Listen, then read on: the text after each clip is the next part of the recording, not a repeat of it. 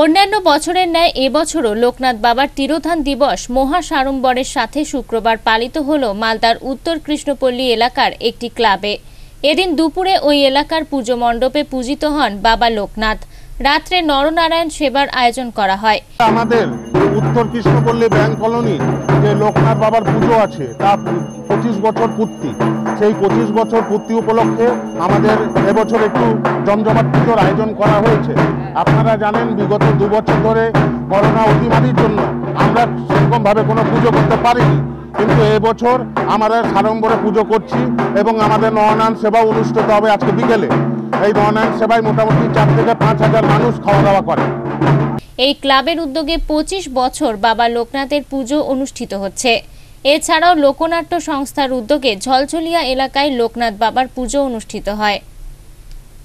মালদা থেকে দেবু সিং এর রিপোর্ট, আনন্দ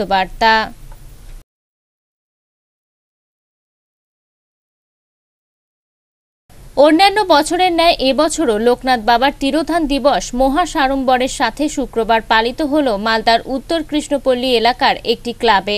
এদিন দুপুরে ওই এলাকার পুজো মণ্ডপে পূজিত হন বাবা লোকনাথ। রাত্রে নরনারায়ণ সেবার আয়োজন করা হয়। আমাদের উত্তর কৃষ্ণপল্লী ব্যাংক কলোনি যে লোকনাথ বাবার পুজো আছে তা পঁচিশ বছর পূর্তি। সেই পঁচিশ বছর পূর্তি উপলক্ষে আমাদের এবছর একটু জমজমাট পুজোর আয়োজন করা হয়েছে।